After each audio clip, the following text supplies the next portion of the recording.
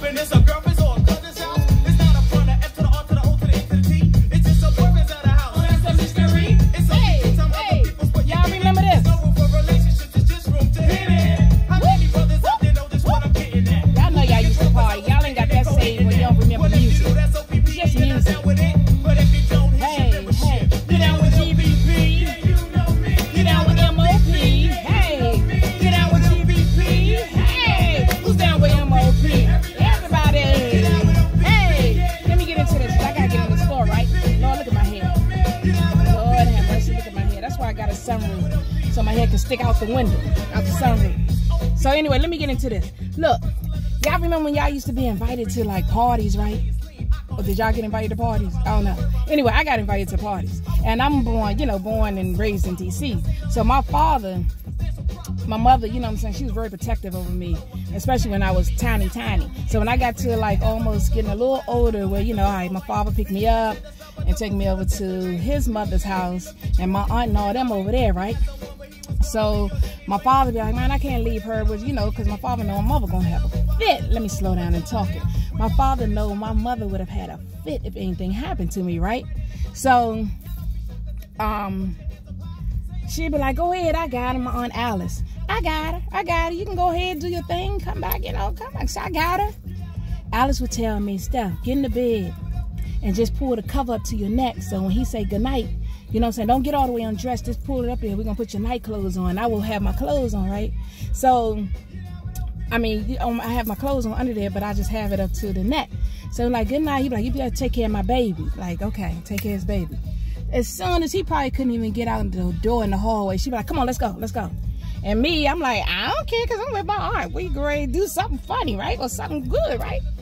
Man, before you know it, we done went over to one of the other buildings. They got a basement um, blue light, red light party going on, right? That's how DC used to party. You go in the basement buildings, they would be up in there partying hard. The blue light be on. You be getting it right. One nation under a groove. I used to be getting it. And people around there knew I was Red's daughter. You know, don't touch Red's daughter. I was Red's daughter. So they would like give me like a little corner in the floor and I'd be in there.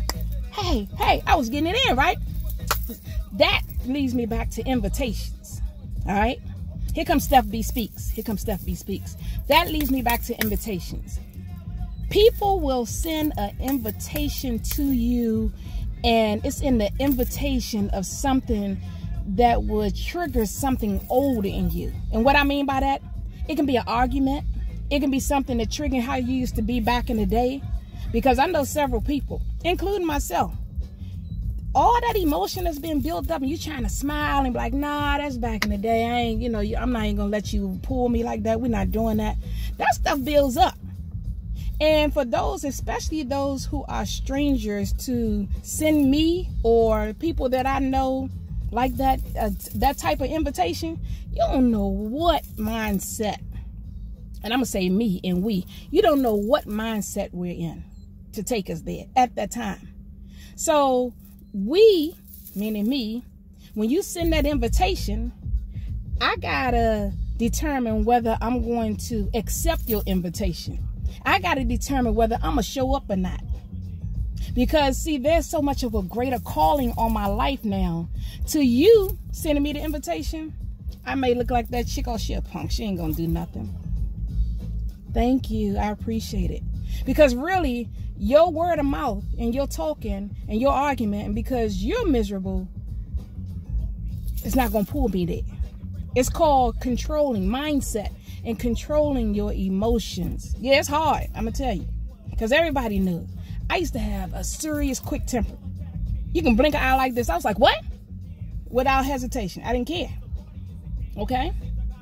But now, the me in me, the deliverance God has done in me, has grown so much that even though it may it may trigger something, it's up to me whether I'm going to accept your invitation and come into your world. So y'all remember out there, because I gotta go. I always gotta go.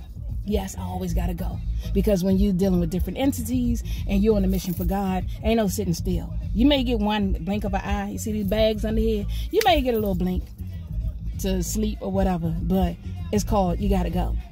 So I gotta go, but y'all remember, all right? Y'all remember, you don't have to accept every invitation that you're invited to. Pick and choose which one you're going to show up for.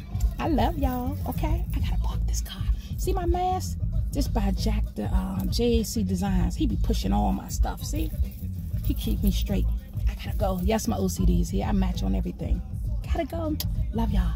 Have an amazing day, okay? Because I will. Smooches.